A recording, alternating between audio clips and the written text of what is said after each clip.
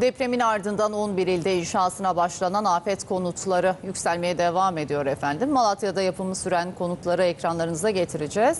Yeşilyurt ilçesindeki konutlarda son durumu Demirören Haber Ajansı muhabiri Taha Ayhan aktardı.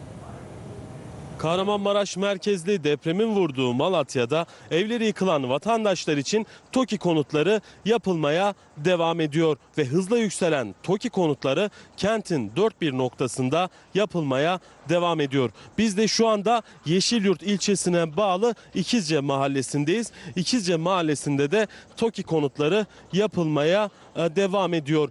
Kent genelinde 100 bin konut yapılacak bu şekilde ve 7 bin köy evi ihalesi yapıldı. 25 bin köy evi yapılacak Malatya'da ve kent genelinde e, TOKİ tarafından radya radyo temel ve tünel kalıp sistemiyle yapılan konutlar yatay ve yöresel mimariye uygun şekilde sağlam binalar inşa ediliyor.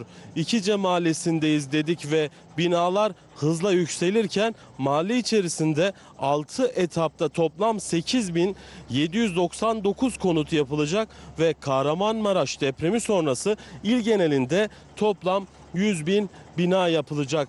Bir taraftan kent genelinde e, ağır hasarlı binaların e, yıkımı gerçekleştiriliyor.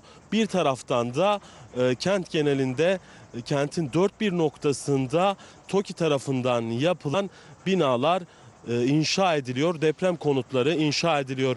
Bir taraftan da geçici iş yerleri konuluyor kentin bir noktasına. İkice Mahallesi'nden e, aktaracaklarımız bu kadar diyelim ve sözü size bırakalım.